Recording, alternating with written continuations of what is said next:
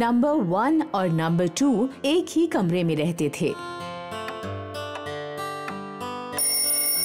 घड़ी का अलार्म ज़ोर से बजने लगता है। आवाज़ सुनकर नंबर वन उठ गया लेकिन नंबर टू अब भी गहरी नींद में था। नंबर वन नंबर टू के बिस्तर के पास गया और उसे पुकारने लगा। उठो नंबर टू आठ बज चुके हैं। लेकिन नंबर टू की नींद नहीं खुली। नंबर वन नंबर वन ने नंबर टू के सिर पर हाथ लगाया।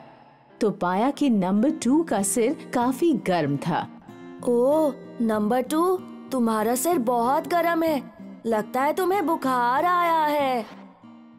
लगता है मेरी तबीयत कुछ ठीक नहीं है नंबर वन चलो नंबर टू हम डॉक्टर के पास चलते हैं। हेलो डॉक्टर अंकल मेरे दोस्त नंबर टू की तबीयत कुछ ठीक नहीं है। ठीक है मैं उसे चेक करता हूँ।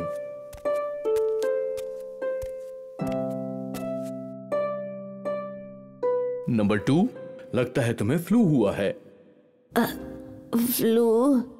अब मुझे क्या करना होगा? चिंता मत करो मैं तुम्हें दो इंजेक्शन देता हूँ। फिर तुम ठीक हो जाओगे। डॉक्टर अंकल आप मुझे दो इंजेक्शन क्यों दे रहे हैं? वो इसलिए क्योंकि तुम नंबर टू हो।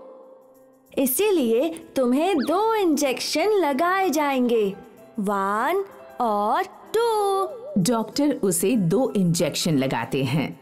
घर जाने के बाद ये दवाई लेना मत भूलना और अपना ख्याल रखना। Thank you doctor.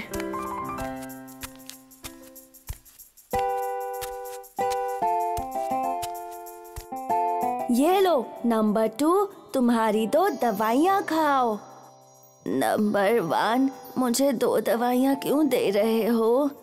वो इसलिए क्योंकि तुम नंबर टू हो। इसीलिए तुम्हें दो गोलियाँ खानी होंगी। वन और टू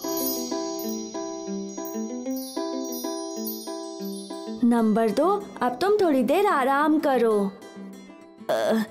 नंबर वन मुझे दो रजाइयाँ क्यों उड़ा रहे हो? क्योंकि तुम नंबर टू हो, इसलिए तुम्हें दो दो रजाइयाँ मिलेंगी। वन और टू।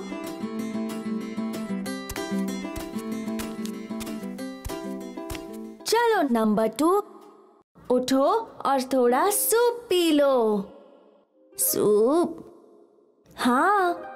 तुम्हें ठीक भी तो होना है ना? हाँ मुझे ठीक होना है। देखो, नंबर टू, मैं तुम्हारे लिए दो कटोरी सूप लाया हूँ। पता है, तुम दो कटोरी सूप क्यों लाए हो? क्यों? क्योंकि मैं नंबर टू हूँ। इसीलिए मुझे दो कटोरी सूप मिलेगा। वन और टू। बिल्कुल ठीक कहा तुमने।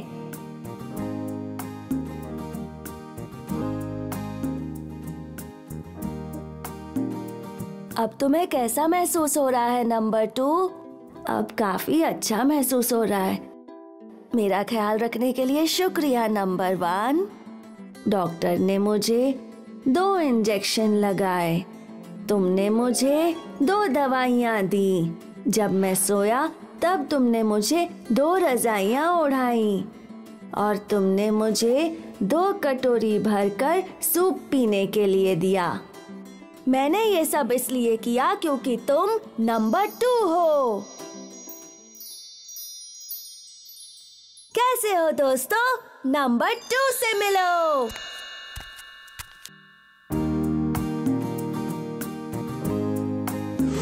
हम नंबर टू लिखना सीखेंगे।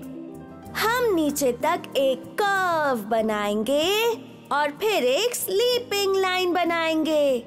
आप समझ गए हो, है ना? चलो फिर ये करते हैं। नीचे तक एक कर्व और एक स्लीपिंग लाइन ये बहुत आसान था, है ना?